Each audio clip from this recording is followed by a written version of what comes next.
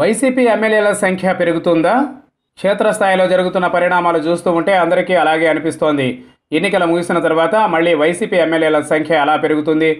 ఎలాగంటే తొందరలో టీడీపీ ఎమ్మెల్యేల్లో కొందరు పార్టీ ఫిరాయించేటట్లు కనిపిస్తోంది.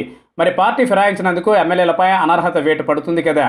ఎప్పుడైతే టీడీపీ నుండి ఎమ్మెల్యేలు పార్టీ ఫిరాయిస్తారో స్పీకర్ తమ్మినేని సీతారాం వెంటనే వాళ్ళపై అనర్హత వేటు వేస్తారని అనుకుంటున్నారు. నిబంధనల ప్రకారం వాళ్ళపై వేటు వేయాల్సిందే. పైగా తమ పార్టీలో నుండి ఫిరాయించారు కాబట్టి ఫిరాయించిన వారిపై అనర్హత వేటు వేయాలంటూ టీడీపీ కూడా స్పీకర్ను పట్టుబడుతోంది. పార్టీలు ఫిరాయించిన వాళ్ళ విషయంలో జగన్మోహన్ రెడ్డి మొదటి నుండి స్పష్టమైన వైఖరితోనే ఉన్నారు. మొన్నటి అసెంబ్లీ సమావేశాల్లో కూడా పార్టీ ఫిరాయింపులపై వెంటనే వేటు వేయాలంటూ స్పీకర్ను జగన్ విజ్ఞప్తి చేసిన విషయం గుర్తుండే ఉంటుంది. అనర్హత వేటు పడుతుందని తెలిసినా పార్టీ ఫిరాయించే ఎమ్మెల్యేలు ఉన్నారా టీడీపీలో?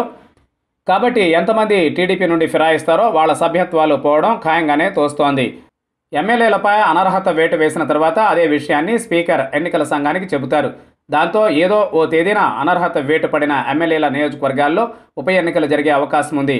ఉప ఎన్నికలు ఎప్పుడు జరిగినా మళ్ళీ వైసీపీ టీడీపీ బీజేపీలో పోటీ చేసే అవకాశాలు పుష్కలంగా ఉన్నాయి. జనసేన అధినేత పవన్ కళ్యాణ్ ఏం చేస్తారో తెలియదనుకోండి. అంటే ఉప ఎన్నికలు ఎప్పుడు జరిగినా విజయం మాత్రం దాదాపు వైసీపీదే అనడంలో సందేహం అవసరం లేదు. సీఎం అయినప్పటి నుండి పాలనలో జగన్ చూపిస్తున్న దూకుడు చూస్తూ ఉంటే ప్రతిపక్షాలకు డిపాజిట్లన్నా దక్కుతాయా ఏమో చూడాల్సిందే.